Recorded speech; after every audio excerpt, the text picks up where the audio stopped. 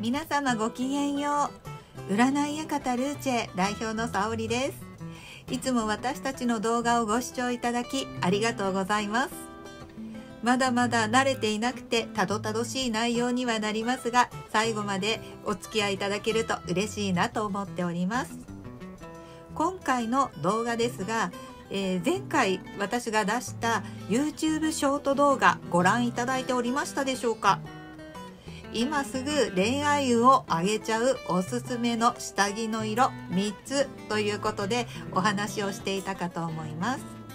どうして色なのって思った方もいらっしゃるかもしれないんですが実は、えー、私たちのね体や心に色というのはすごく影響を与えるんですね。なぜかというと色からもエネルギーというものが出ていて身につけること目にすることでその、えー、色のパワーの、えー、パワーをね受けることができるからと言われています。ですので恋愛運を上げちゃう赤オレンジピンクなどを身につけることでその色の効果を得て恋愛運を上げるということができます。改めて復習すると赤は、えー、情熱や、えー、行動そして積極性などを表す色です。この色を身につけることで普段なかなか行動できない、ね、一歩前に進めない動けない元気がない情熱が足りないなんていう方は、えー、この色を身につけることで、えー、その効果を得ることができます。そしてオレンジはこう自分の心や体を解放する色なんですね、えー、ワクワク喜びときめきなどを引き寄せる色でもあります。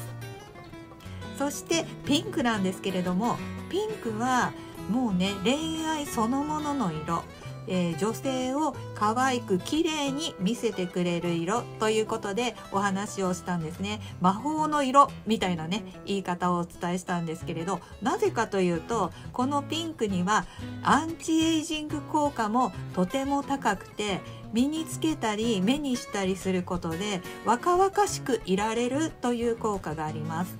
女性ホルモンにも働きかけますのでお肌などにも影響がね与えられると言われているんですね。すごくないですか？そして恋愛運を上げるということは身につけることで恋愛運を下げてしまう色というのもあったりします。これも強いて3つ挙げるのであればまず第3位が第3位ですね。第3位がベージュです。そして第2位が紺です。そして第1位が黒となります他にも、えー、グレーとかもねあまりおすすめはしない色なんですけれどもこの3色なぜかというとこうね肌に馴染んだりこうねベーシックな色ではあるんですけれど人との距離を遮断してしまう色だと言われています。恋愛では相手の方とのコミュニケーション力を高めて、えー、よりね幸せになったり愛されたりということがテーマになってくるので相手との距離を遮断しやすい色などをつけてしまうと距離が縮みにくかったりすると言われているんですね。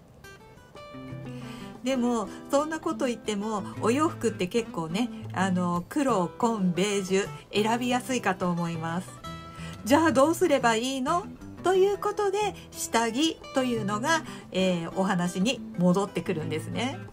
えー、なかなか赤い服オレンジの服ピンクの服などは身につけることが難しくてもこう下着だったらお洋服で隠れているのでこうね身につけてもあまり恥ずかしくないですし、えー、また直接肌に触れることでその色の持っているエネルギーをより吸収しやすくなってくるのでおすすおすすめなんですね。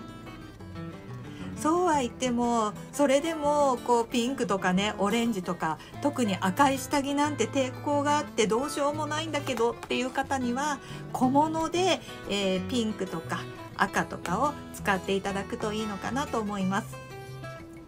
そしてメイクやネイルペディキュアなどにもこのピンクや赤やオレンジなどを取り入れていくとおすすめですが特にメイクなどはオレンジや赤というのはちょっとねこう人に与える印象として強めの色だったりするのでピンク系などがおすすめだと言われています。ただピンクピンクした色がね苦手という方もいらっしゃると思うのでそういう方はピンクベージュなどを選ばれるとよろしいかと思います。こうメイクとかもね人に与える印象とかで顔っていうのはどうしても一番最初に見られる部分だったりもするので、えー、その辺にね取り入れていただくとよろしいのかなと思いました。こうね、えー、今までちょっと簡単にご説明をさせていただいたんですけれど色というものを上手に使うことで自分の願いを引き寄せやすかったり叶えやすかったりするという効果もあるので是非色をうまく使いながら生活に取り入れていただくといいのかなと思いました。今回はあの全体的なお話をさせていただいたのですが個人鑑定では皆様お一人お一人のお悩みや願いなどをお伺いした上でその方に一番合ったアドバイスをするということを心がけております。私はパーソナルカラーの資格も持っておりますのでよろしければ実際のね、直接の鑑定ではございませんのでお肌の色やね、お顔というのがオンライン上ですとあの正確には伝わりにくいかとは思いますけれどご様子などをカメラ越しに見させていただきながらその方その方に合った、え、色のアドバイスであったりとかえー、そしてですねメイクアドバイスなども、えー、させていただくことも可能です。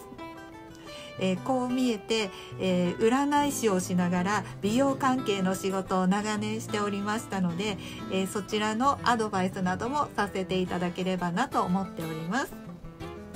もしご興味などがあればあのこちらの、えー、概要欄にあるリンクの方から、えー、個人鑑定にお申し込みもできるのでご相談いただければと思います。もちろん私だけでなくこの占い館ルーチェには個性豊かな占い師が勢ぞろいしておりますホームページをご覧いただいた中でお気に召した占い師などがいたら是非直接ご相談いただければ嬉しいです私たち占い館ルーチェ占い師一同皆様の望む未来を進んでいくためのお手伝いができればという思いで日々活動させていただいております。今後も皆さんが楽しんでいただけるような動画配信を心がけてまいります。何かリクエストなどがあればこのコメント欄などにもコメントいただければ本当に嬉しいなと思っておりますしまたフォローや高評価などで応援の後押しをしていただけるとさらに励みになりますのでお願いいたします